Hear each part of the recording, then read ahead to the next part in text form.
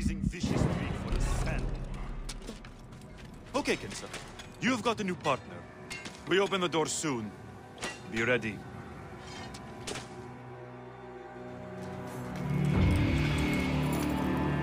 These are the scraps that Felix wants to throw our way? they make a poor meal, my brother.